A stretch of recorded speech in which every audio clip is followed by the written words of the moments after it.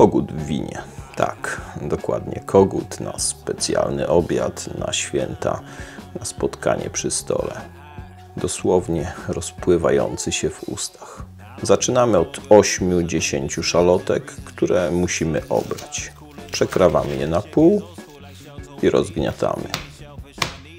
Do dużego garnka wrzucamy nasze rozgniecione szalotki. Teraz duża marchewka, którą obieramy i kroimy w plasterki i wrzucamy do gara. Kilka gałązek świeżego tymianku i kilka gałązek rozmarynu. Dorzucamy do gara.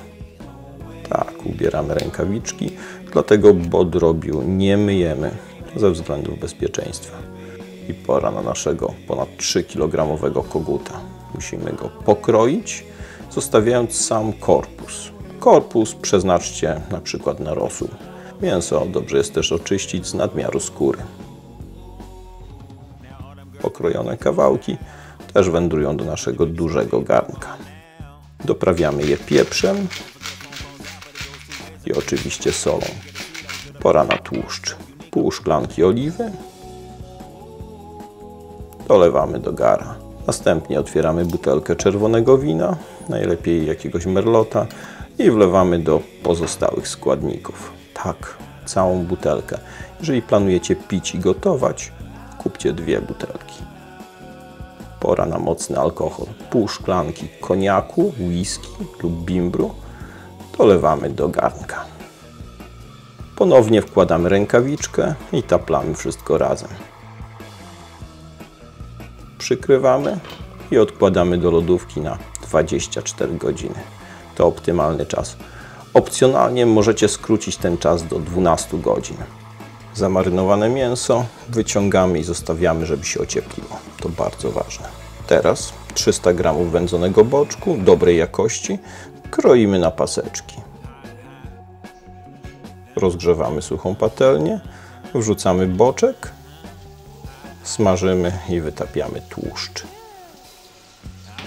Ściągamy usmażony boczek i odkładamy patelnię z tłuszczem. Pora na pieczarki. 250 gramów przekrawamy na pół. I zaczynamy zabawę łowczego.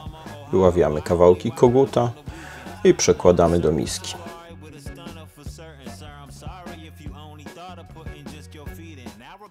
Mięso posypujemy trzema, czterema łyżkami mąki pszennej i dokładnie otaczamy kawałki koguta. Ponownie rozgrzewamy patelnię z tłuszczem. Na rozgrzanym tłuszczu obsmażamy kawałki mięsa po każdej ze stron. Robimy to partiami, chyba że mamy jakąś gigantyczną patelnię. Następnie ściągamy mięso, dolewamy trochę oleju rzepakowego i rozgrzewamy. Wrzucamy wcześniej przekrojone pieczarki, doprawiamy pieprzem i solą. Podsmażamy, aż się zarumienią. Podsmażone pieczarki wrzucamy do garnka z marynatą. Dodajemy podsmażone kawałki koguta i usmażony boczek i dokładnie mieszamy. Przykrywamy i gotujemy pod przykryciem na średnim ogniu przez 2 godziny. Na koniec odkrywamy i gotujemy przez 30 minut, odparowując alkohol i redukując płyn. I gotowe, możemy podawać. Mam nadzieję, że podobał Wam się film. Zapraszam do pozostawienia łapki w górę, subskrypcji kanału i komentowania. Do zobaczenia.